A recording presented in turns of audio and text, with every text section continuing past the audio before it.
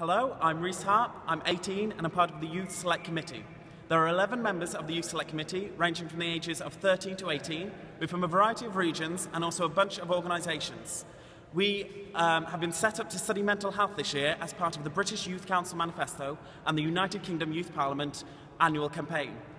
We have just closed our call to evidence. We've had a huge range of responses from a variety of organisations, including the NHS Youth Forum, the Department of Health, and also Young Minds.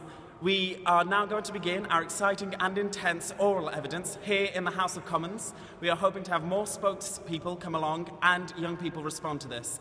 I really want you to get involved. Please follow our hashtag, hashtag YouthSelect. We also have a Twitter account at BYC Live, and please look at the BYC webpage. Thank you.